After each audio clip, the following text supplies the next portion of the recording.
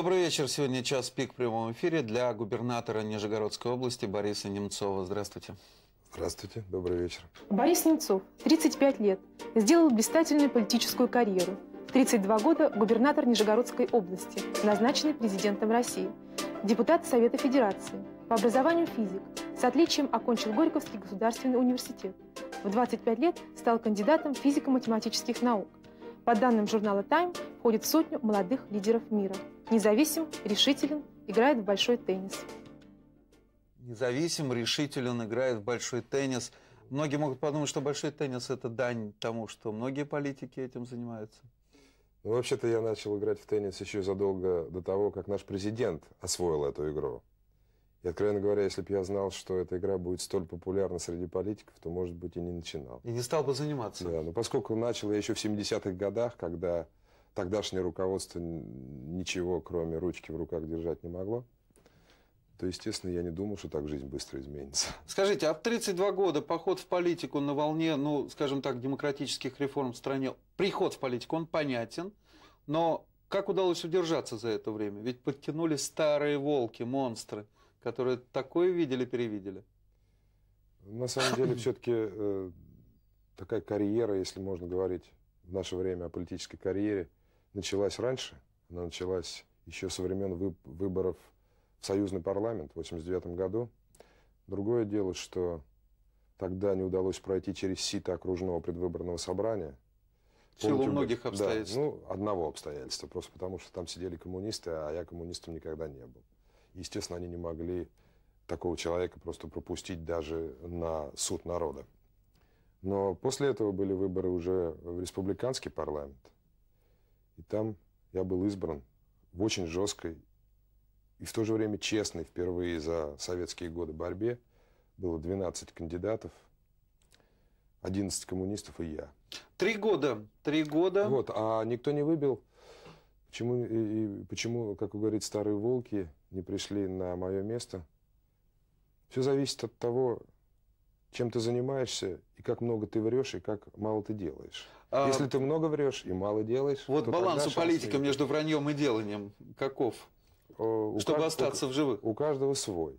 А у вас какой? Я думаю так, что если больше 50% будет дела и меньше 50% вранья, то тогда есть шанс удержаться долго. Если же наоборот, то, конечно, это конец. Давайте поговорим о деле и о вранье. Вы только что а, сегодня утром присутствовали при а, выступлении Бориса Николаевича Ельцина перед Федеральным собранием с ежегодным обращением. А как вы думаете, какую цель ставил Борис Николаевич и чего он добился этим обращением? Цель соблюсти Конституцию, если говорить формально. Дело в том, что обращение, оно довольно формально э, было выполнено. Президент зачитал послание, и на этом все закончилось. Не было ни дебатов, ни дискуссий, ни вопросов, ни ответов, ничего. Как было воспринято вот, в кулуарах? По-разному, естественно. По-разному. Э, одни люди говорили, что в целом понятна теперь позиция президента. Президент обнародовал некую свою программу действий на 95 год. Другие говорили, что было очень много таких словословий на общие темы, ничего конкретного. Общих формулировок, да. округлых, неконкретных. Да. Третьи отмечали позитивные моменты. Я вот считаю, что позитивным все-таки в послании э, можно назвать то, что президент лично обнародовал очевидную, в общем-то, идею необходимости президентских выборов в 96 году и парламентских выборов уже в этом, в нашем 95 году. Э, мне все-таки показалось, что в экономической части президент четко обозначил главный курс, а именно курс на финансовую стабилизацию, хотя из уст президента это звучит сейчас довольно банально. Можно об этом было говорить в 92 году, в 93 году, в 94 году. В 95 году нужно уже говорить, каким образом мы добьемся финансовой стабилизации. К сожалению, в этой части, э, если говорить об экономической форме, вот так вот в этой части э, выступление президента мне показалось не очень убедительным. Просто потому, что непонятно, каким образом эту стабилизацию достичь. Ведь что сейчас э, анекдотичным образом получается у нас в стране? Как мы хотим добиться финансовой стабилизации? Мы хотим занять у американского народа 6 миллиардов долларов и у российского народа чуть больше. Ну, может быть, там 40 миллиардов, 40 триллионов рублей, да? Такое советско-американское СП по стабилизации да, российской вот, экономики. Вот, вот. Что касается американского народа, то, судя по переговорам с Международным валютным фондом, американский народ не очень-то хочет... Не э, расположен. Да, да, не расположен давать деньги. Что касается российского народа, то я думаю, что 40 триллионов он сейчас найти не может в принципе, просто потому что в связи с сильной инфляцией и обнищанием люди не имеют практически свободных денег. Поэтому вот основа стабилизации финансовой, она сейчас под огромным-огромным вопросом. И я-то, откровенно говоря, хотел услышать от президента, какие конкретные программы, содержательные программы нужно исполнить, чтобы сократить расходы бюджета. Если президент сказал, что нужно сократить аппарат, я начинаю сокращение со своего аппарата. Если президент сказал, что мы не будем тратить деньги на войну, и я, как президент, буду бороться за мир в Чечне, потому что Чечня смертельна для России – она не только требует огромных затрат, но там просто умирают люди, и мы не можем себе позволить такую роскошь, как войну. Кстати, она смертельна и для армии, потому что, вот представьте себе весенний призыв. Я думаю, что будет так же, как в Соединенных Штатах в 1973 году, когда матери не будут своих сыновей пускать просто э, в армию, и будет сорван призыв, а значит, будет разрушена армия. То есть она смертельна для России, если бы он это сказал. Если бы он сказал, что сейчас Россия находится на пороге полной зависимости от продовольствия, завезенного из Европы и Америки, просто потому что у нас неэффективное сельское хозяйство и нужно делать земельную реформу. Он этого не сказал. Он вообще не сказал про земельную реформу. И сейчас мы пожинаем плоды отсутствия реформ. 60% продовольствия Москвы импортное. Во всех крупных городах такая же ситуация. У вас также? Ну, у нас поменьше чуть-чуть, но тоже очень много. Э, сотни, э, вот у нас в Нижнем Новгороде 750 колхозов, из них в 200 колхозах уже не платят зарплату несколько месяцев, они просто банкроты. То есть реформа земельная – это абсолютно необходимая вещь сейчас для России. И спасение для России. Об этом тоже ни слова. Вот, э, то есть мне показалось, что подход скорее бухгалтерский. Давайте сократим расходы, а за счет чего сократим, э, не говорится. Мне показалось э, весьма настораживающим заявление о реформе армии, которое, судя по выступлению президента, должно сводиться исключительно к тому, что надо э, больше денег тратить но ничего не говорится, например, о создании ударных частей армейских, которые могли бы участвовать э, действительно в сложных операциях. Ничего не говорилось о профессиональной армии, президент ни слова об этом не сказал.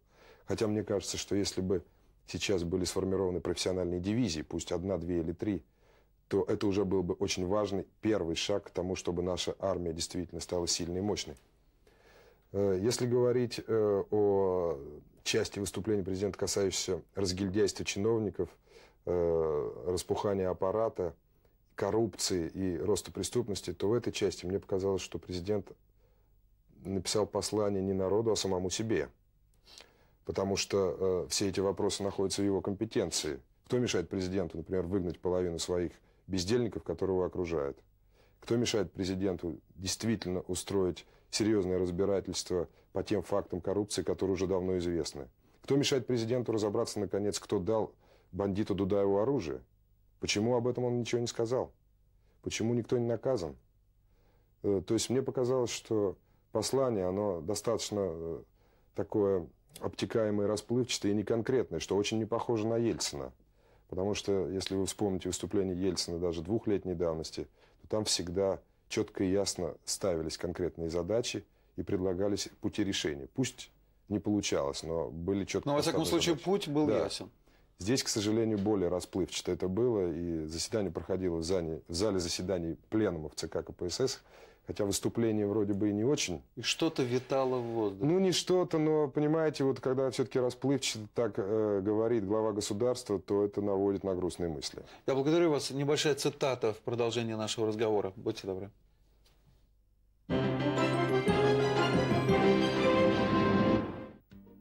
Мы не можем быть заложниками одного человека – даже если он президент. Мы не можем быть заложниками ни Ельцина, ни Жириновского, ни Зюганова.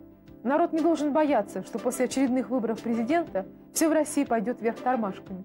Поэтому я предлагаю провести выборы губернаторов на местах до 13 июня 1996 года. Рабочая трибуна 22 ноября 1994 года. Почему вы считаете, что выборы губернаторов на местах – это какая-то гарантия стабильности? Это довольно просто. Представим себе, что мы не будем проводить выборы губернаторов. Тогда, если придет к власти абсолютно новый человек, угу. в результате выборов, то в одночасье он, он снимет с работы все 89 губернаторов и назначит 89 своих. Поскольку сейчас губернаторы имеют огромную власть и в области социальной политики, и в области строительства жилья, сельского хозяйства, приватизации, чего угодно, то, естественно, в одночасье страна изменит свою окраску. Если выберут коричневый президент, то страна в одночасье станет коричневой. Если красного, то она станет красной. А я не хочу, чтобы жизнь страны зависела от того, кого... Э, Какой политик придет. Да, да, не хочу этого. Я думаю, большинство людей этого не хотят. Они хотят спать спокойно в ночь с 12 на 13 июня 96 года. Когда мы проводим выборы губернаторов по всей России, то тоже есть вероятность ошибок. Люди ошибаются. Иногда они выбирают Дудаева, иногда они выбирают Гамсахурдия. Бывает такое, ничего страшного. Но когда выбирают 89 регионов губернаторов, то даже если они ошибутся в нескольких людях, то в большинстве все-таки выберут достойных людей. Но когда они выбирают Немцова, они не ошибаются. Ну, э, я, я как попытался я, продолжить. Я нет. Э, дело в том, что я достаточно адекватно оцениваю свои возможности и свои способности. Вот, э, я думаю, что если люди проголосовали, то они особой ошибки не совершили.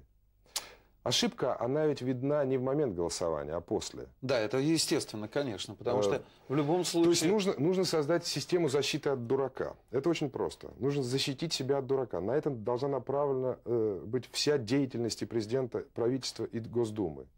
Я вот думаю, что если президент, например, после Чечни, когда стало ясно, что в Конституции слишком много прав у президента, сказал, что, друзья, для того, чтобы в следующий раз не было таких потрясений, для того, чтобы были какие-то сдержки и противовесы, я лично выступаю с инициативой, лично выступаю с инициативой ограничить права президента в Конституции. Если бы он выступил с таким заявлением, то я думаю, что это был бы шаг э, к тому, чтобы создать стабильную систему в обществе. Я думаю, что если бы он сегодня в выступлении сказал, что ради сохранения стабильности России, ради спокойствия в России, я считаю, что нужно объявить выборы губернаторов обязательно. Я думаю, это тоже бы было, э, играло на стабильность. К сожалению, этого ничего нет. Хотя должен сказать, что когда Борис Николаевич плавал по Волге летом прошлого года, он, давая интервью многочисленным журналистам, сказал, что, конечно, в Нижнем Новгороде надо немедленно провести выборы губернатора, и вообще в России нужно их провести. Я думаю, что сейчас э, настало время действительно так сделать. Представьте себе губернаторов, которых назначил Ельцин, и которые должны уч э, не участвовать, а работать в преддверии президентских выборов. Вот они каждый день открывают газету, там написан рейтинг Зюганова, Явлинского, Жириновского, Ельцина. И каждый день они думают, что же с ними будет в ночь с 12 на 13 июня. Вы представляете вообще, во что превратится? И все остальные чиновники, назначенные до самых сельсоветов, тоже так же думают. Вся государственная машина начнет пробуксовывать, она начнет искать себе запасные аэродромы. Коррупция приобретет необъятный совершенно характер и неконтролируемый. То есть люди будут очень нервничать. Вот то, сегодня президент говорил об укреплении государственной власти. Во имя укрепления государственной власти нужно объявить выборы. Причем везде, не только губернаторов. Нужно объявить выборы в городах, в районах, везде. Еще один аргумент так, ну, со стороны демократических, э, формально демократически настроенных э, деятелей в окружении президента, это то, что если объявить выборы губернаторов, то выберут э, коммунистов и фашистов. Я хотел сказать об этом да. же. Вы же тоже следите внимательно да. за рейтингом. Да, выберут коммунистов и фашистов. Ну, в отношении коммунистов я могу так сказать, что если, например, раскрасить нашу страну красками в зависимости от политической ориентации – руководства областей и краев, то она в основном будет э, э, красная и слегка розовая. Иногда только будут белые такие пятна, но небольшие. Это пятна демократии. Это пятна, где не коммунисты а, управляют. Понятно. Вот, поэтому, если объявить выборы, то в этом плане хуже не будет. Может быть, более розовые пятна появятся в большем объеме и уменьшится количество бордовых. Как-то вы успокоили своих коллег э, коммунистов, вот, губернатор, я, я имею в виду. Ну да, ну, то есть хуже в этом плане не будет. Что касается фашизма, а сегодня, кстати, президент говорил и об угрозе, впервые так да, об угрозе фашизма, это очень важно. Я считаю, это замечательно, что он на это обратил внимание. То, конечно, российский народ в преддверии 50-летия Победы не может э, голосовать за фашистов, если его до этого не довели. Если его довели просто обнищанием, то он готов за черта проголосовать, чтобы только хоть что-то изменилось. Поэтому это опять-таки, я бы сказал, такое автообращение. Хм. Вот, э, я думаю, что э, здесь э, надо просто почаще смотреться в зеркало. Вот и все. Вы часто смотрите в зеркало? Ну, вот, например, перед передачей смотрелся. Благодарю вас. Небольшая цитата в продолжение разговора из вашего интервью. Будьте добры.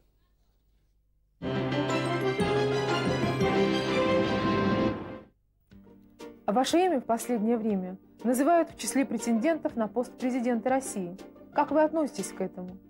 От добра добра не ищут. Меня очень увлекает сегодняшняя работа. Кроме того, я не привык бросать дело на полпути. У меня есть убеждение, что до 2000 года мы сможем убедиться в результатах труда. И я буду с гордостью говорить, кое-что удалось сделать, в том числе и мне здесь, в Нижнем Новгороде. Рабочая трибуна, 22 ноября 1994 года. Ваши взгляды вообще на политику, на власть за 4 года работы губернатором, почти за 4 года, изменились? И насколько? В какую сторону? В сторону умеренности изменились, а самое главное – это то, что стало ясно, что быстро все равно ничего нельзя сделать. Ничего нельзя сделать за 100 дней, ничего нельзя сделать за 500 дней, за 1000 дней.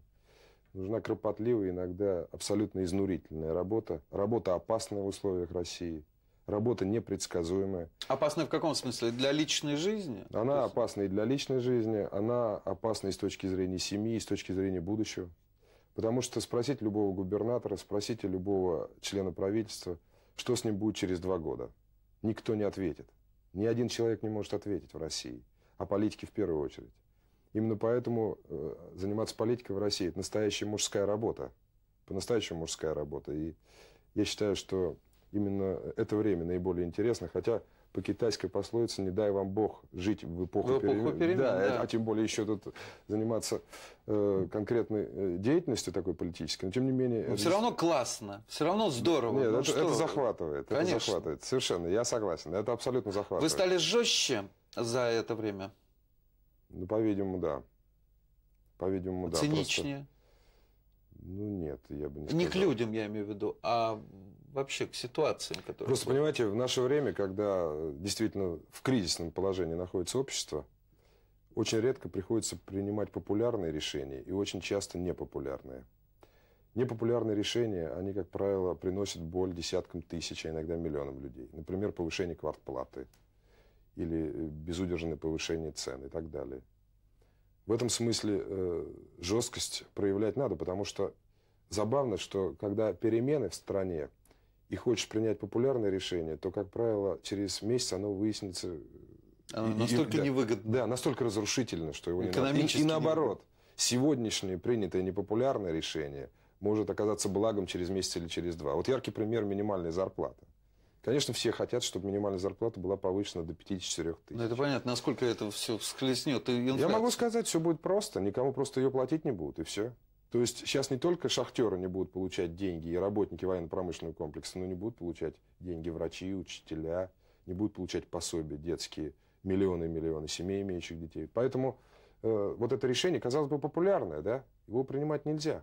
Потому что оно может разрушить окончательно Россию. Скажите, вам удалось эм, на рынке ценных бумаг у себя в Нижегородской области создать, ну, во всяком случае, прецедент, когда государственная бумага очень высоко котируется. Я имею в виду знаменитые немцовки. Да, было такое. Вы наряду там э, Керенки, Катеньки, ну, Немцовки уже вошли. Я бы, конечно, был бы счастлив, если бы бумаги имели такое же хождение, как Катеньки, которые, как известно, можно было обвинять в Лондоне, в Париже и в Нью-Йорке. Немцовки, к сожалению, в этих городах обменять нельзя. Да, они пока там не знают. Да, э, ну, может, нет, знают, наверное, все-таки писали о них тоже. Но просто э, так случилось, что первый раз за долгую советскую и постсоветскую историю власть обещала выплачивать дивиденды, их выплачивала. Власть обещала разыгрывать тиражи и выигрыши и разыгрывала тиражи. Власть обещала и никого не обманула, выпуская И бумаги. народ поверил и стал покупать, и за ним, говорят, гоняются даже. Да, сейчас ситуация совершенно замечательная. Э, мы выпустили еще второй такой заем и выпустили уже третий, жилищный. Вот общий объем проданных бумаг только в нашей области больше 50 миллиардов рублей. Это большая сумма. И что мы сделали? Вот на жилищный заем мы построили дома. И впервые вот в России будет в начале марта сдаваться несколько домов которые, для людей, которые построены на деньги, вырученные от продажи каких-то всего лишь региональных бумаг. То есть это настолько вдохнови... вдохновить должно людей, вот простых жителей, которые стоят в череде. Совершенно верно. Это вообще фантастическая программа. Я никак не ожидал, что она так разовьется. И вообще вот эта жилищная программа, пожалуй, единственное, что можно сделать, когда сильная инфляция. Ну, посудите сами. Люди не могут скопить даже себе... Ну, в Москве вообще невозможно ничего купить. Москве Норма- это- Честному человеку. В Москве Вот, ужас. Да, в Москве не трогаем. Но даже в Нижнем Новгороде бешеные цены на квартиры. Вот, другой Бешеные сколько метр стоит у вас? По-разному он стоит. Ну, Он- от района, я могу да. сказать, он стоит от 600 тысяч до 2-3 миллионов рублей за квадратный метр. Вот, э, в плохом таком непрестижном районе 600 тысяч можно купить. Это, Это довольно... но- но- но- да, это очень По дешево. московским ценам. Абсолютно, я согласен. Но это очень э, плохое жилье, без особых удобств и Ну, понятно. так далее. Вот. э, дорогое жилье стоит, конечно, уже несколько миллионов рублей за квадратный метр. А здесь ты покупаешь облигацию, один квадратный метр у нее номинал. Просто на ней написано один квадратный метр. Вот сегодня можешь купить один квадратный метр? Купил. Потом еще один, потом еще. И так метр И что за потом метром. делать? Метр за метром. Ну хорошо, но 100 я купил такие. Все, потом приносишь в кассу и говоришь, вот у меня 100 бумаг, там 100 Так. метров, давай мне 100-метровую квартиру. Тебе через месяц все дают. Серьезно? Все, да. Вот в этом вся смысл программы. Так как вам в Новгород можно Пожалуйста, приезжай, Мне очень это- хотелось А сколько стоит один метр? Значит, э, один метр номинальная цена была стартовая 750 тысяч рублей, когда мы Это начинали. выпуск, да. когда мы начинали. А сейчас на рынке? Сейчас на рынке она колеблется около миллиона сто, миллиона двести. Прилично, да. прилично. Ну что делают сейчас предприятия? Допустим, я не могу заплатить такую цену за один метр. Подписывается договор с директором завода. И директор говорит, если ты купишь, то я тебе компенсирую 60%. Класс. И фактически люди, э, завод, допустим, не может построить дом, но купить несколько квадратных метров своим сотрудникам может. Во-первых, люди Они работают уже, перспективу, они работают, перспективу да, они ждут. чувствуют. Вот у них 3 метра, они уже не хотят увольняться, они хотят дальше работать. Они хотят больше- 5 метров, Да, потом 5-10, 6 да. метров. То есть это на самом деле э, очень отличная программа. Я даже не ожидал, когда мы ее начинали, какая она будет бурная. Кстати, Чубайс сегодня буквально обещал приехать и перерезать ленточку в доме, где будут заселяться жильцы, которые вот скопили соответствующее количество бумаг. Это он завтра приедет. Не, он приедет на А, начале- в когда? марте, марте, марте, да, да, да. марте. Вам предстоит ответить сейчас на звонки наших зрителей. Прошу, господа.